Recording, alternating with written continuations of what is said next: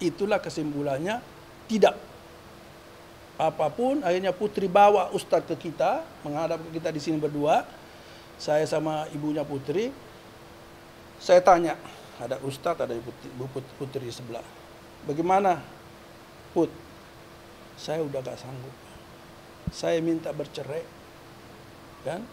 Ustadz saya tanya bagaimana? Enggak, saya enggak mau menceraikan. Saya belum, saya masih mau mempertahankan. Saya akan rubah semuanya.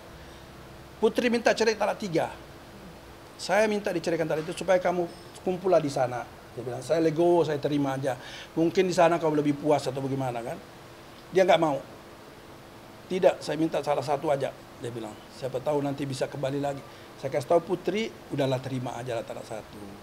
Nah, akhirnya kesepakatan, Nah, sudah selesai begini, saya bilang sekarang kau ucapkan tali talak depan kita. Nah, akhirnya dia ucapkan tali talak depan kita, putri saya dengan ibunya putri. Dia jatuhkan talak, talak Putri. satu.